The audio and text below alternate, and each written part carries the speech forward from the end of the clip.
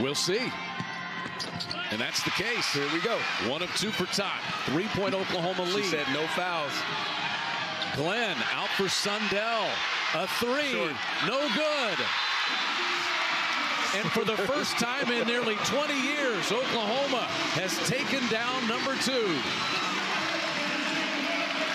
That is uh, that, Chad. This game was everything we thought it probably could and would be. And, you know, to be a little shorthanded, K State, they didn't make any excuses, no ifs, ands, or All they've done is won without Lee, and they gave themselves a chance tonight.